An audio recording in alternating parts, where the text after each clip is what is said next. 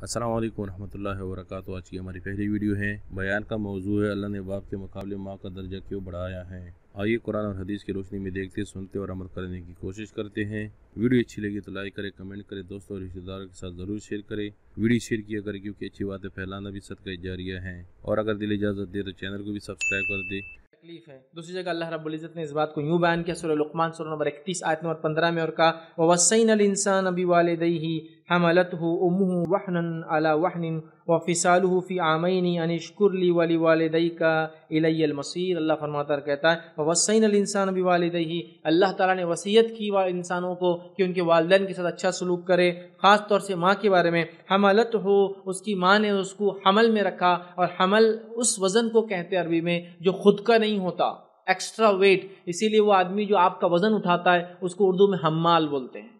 وہ اس کا وزن نہیں ہوتا، پھر بھی اپنے پیٹ پر لاد کے وہ گھومتا ہے یا آپ کا سامان پہنچاتا ہے۔ تو حملت تو اٹھا کے رکھا۔ حمل مطلب وہ ویٹ جو اس کا خود کا نہیں ہے۔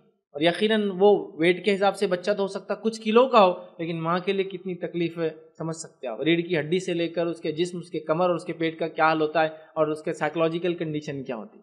معلوم بہت عجیب یہ سچویشن ہے۔ جو لوگ ہیومن فزیولوجی پڑھتے ہیں یا سائنس میں پڑھے ہوں گے، وہ جانتے ہیں کہ ماں کی جس میں کیسی تبدیلیاں آتی ہیں۔ جسمانی اور خاص طور سے سائیکلوجی جس کو کہتے ہیں، سوچ کے اعتبار سے۔ بہرحال، تو اللہ نے فرمایا، اور اس کی ماں نے دکھ پر دکھ اٹھا کر اس کو حمل میں رکھا۔ اللہ نے فرمایا، اور حملت ہوں منہ وحن اعلیٰ وحن، اس کو دکھ پر دکھ اٹھا کر حمل میں رکھا، سنبھال کے رکھا، اٹھا کر رکھا ہے کے۔ دکھ پر دکھ مطلب یہ فیز آسان نہیں ہوتا ہے، اور یہ اتنا تکلیف دہ فیز ہے، اتنا تکلیف دہ فیز ہے کہ جو ماں بچے کو حمل میں رکھتی ہے پریگننسی میں سنبھال کے رکھتی ہے، پیدائش کی تکلیف اٹھاتی ہے، اس کے بعد پرورش کی تکلیف اٹھاتی ہے، اسی لیے علماء لکھتے ہیں ماں کا درجہ باپ کے مقابلے میں تین گنا زیادہ ہے۔